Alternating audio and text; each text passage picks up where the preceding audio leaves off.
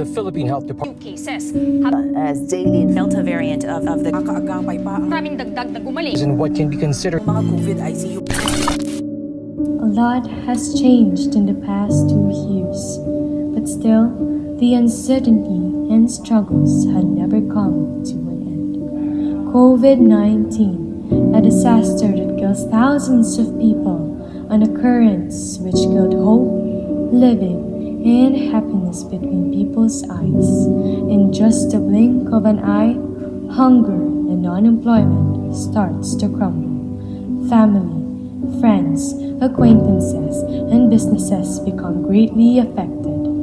How can we survive?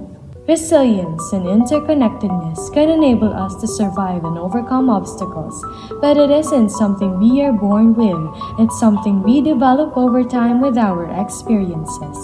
Our connection to one another slowly drifted away, together with our willingness to seek for better resources.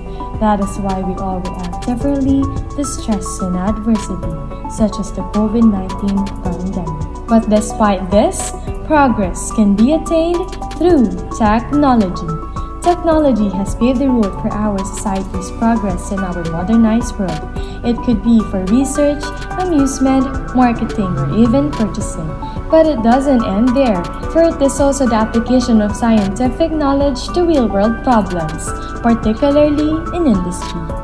The most essential aspect of manufacturing process decision making was recognized as technology.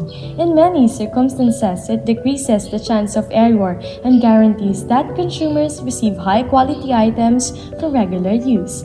May it be for e commerce and healthcare, technology has always been our partner.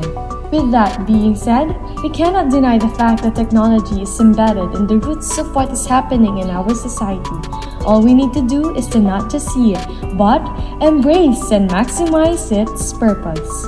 In order to do that, we must recognize that technology can be seen even in this time of pandemic. One of which is scientists are turning to technology. To reduce and eventually stop the spread of COVID 19, policymakers use technology across all fronts, from testing and traceability to medicines and equipment. Another one is the transparency in news reports and updates. Being morally aware makes us adapt to the changes in our society.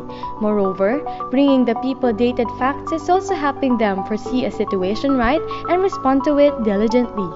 Trying to participate in activities held at distance can be one too. Activities such as yoga and exercise sessions. By doing so, we are not only getting in touch, but we are also protecting our health. Information that we receive should not just be limited to ourselves only. It is our responsibility as citizens of our country to help disseminate knowledge for the betterment of everyone. Therefore, do not just be a consumer but also be a producer. Even if we are all compelled to maintain physical distance, it's crucial to contact, video chat, email, or write letters to the people we care about to engage in responsive exchanges, safeguard our emotional well being, and manage the stress of living through this challenging period. Our strong bond with technology makes us more connected because we are fighting the virus together. Through technology, we can be educated. Through that, there goes discipline. With discipline, we can be more responsible enough to mitigate the death toll and save a life from being taken away every day. Thus, we are building a society of resilience and connection by heart, from one person to a whole nation.